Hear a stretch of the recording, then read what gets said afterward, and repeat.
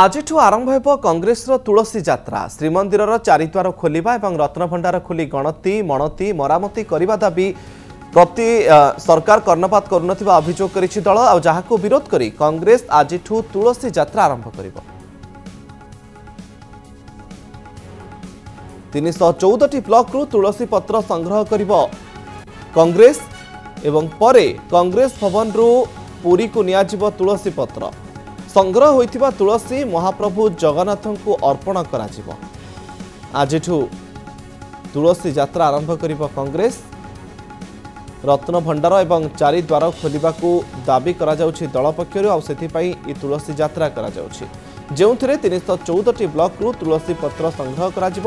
ପରେ କଂଗ୍ରେସ ଭବନରୁ ପୁରୀ ନିଆଯିବ ତୁଳସୀ ପତ୍ର ଏବଂ ସଂଗ୍ରହ ହୋଇଥିବା ତୁଳସୀ ମହାପ୍ରଭୁ ଜଗନ୍ନାଥଙ୍କୁ ଅର୍ପଣ କରାଯିବ।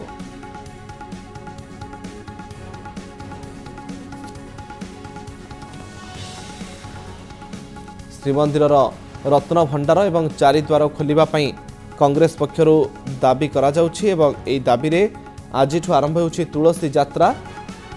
ତିନିଶହ ଚଉଦଟି ବ୍ଲକରୁ ତୁଳସୀ ପତ୍ର ସଂଗ୍ରହ କରାଯିବ ଏବଂ ପରେ କଂଗ୍ରେସ ଭବନରୁ ପୁରୀ ନିଆଯାଇ ମହାପ୍ରଭୁ ଜଗନ୍ନାଥଙ୍କୁ ଅର୍ପଣ କରାଯିବ।